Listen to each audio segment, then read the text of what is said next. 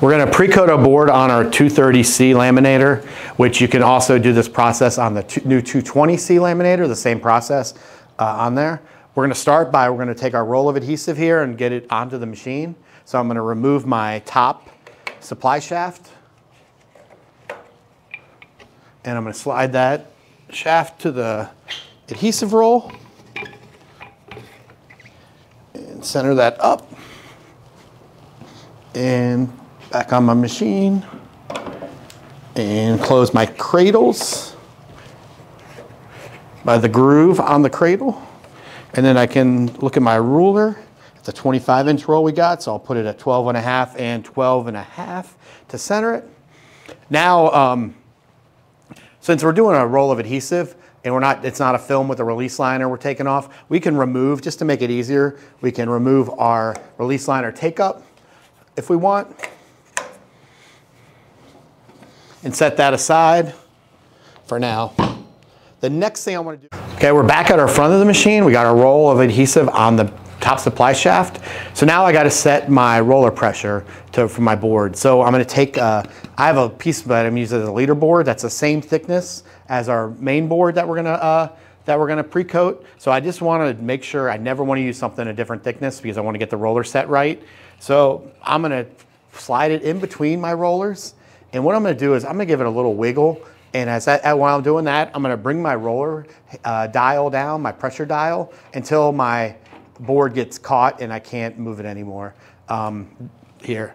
And then once I get that, um, we know we have the right pressure. It's foam board and stuff like foam board coroplast. I don't want to overpressure because I don't want to crush it. If it's a more rigid substrate, maybe I can add a little like uh, extra hour on the clock, as he said on the dials. It's not going to affect the uh, actual uh, uh the thickness of the uh, substrate. I'll put it in reverse to back it out to get it out of here because I can't remove or change my dial here to get it out. I can't open it up and pull it out because I'm going to lose what, all the work I just did. So I'll just back it out. You can run it forward and go out the back if you want, if that's easier.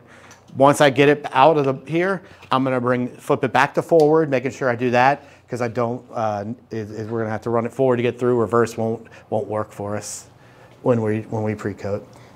So I'm going to bring my adhesive down next, and I'm just going to bring it down in the front of the roller and kind of try to tuck it behind this bar or hand wheel bar, and then I'm going to unlock my uh, safety unlock and lift my table.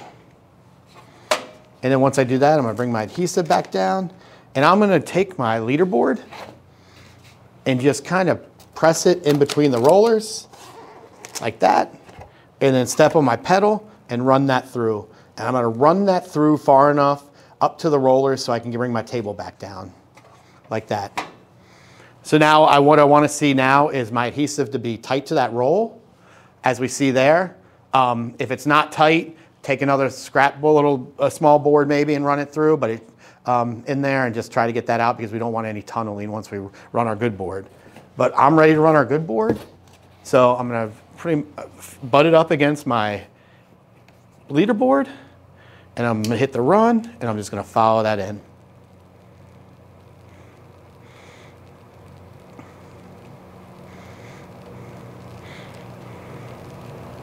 I'm going to adjust my speed. I'm on run. You can use the foot pedal if you want to control either way. It's going to work fine on here.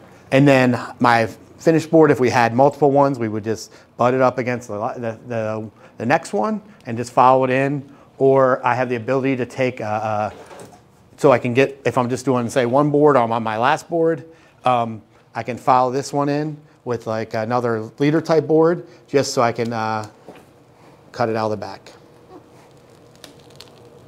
like this. And just enough so I can get this out and then I'll stop it.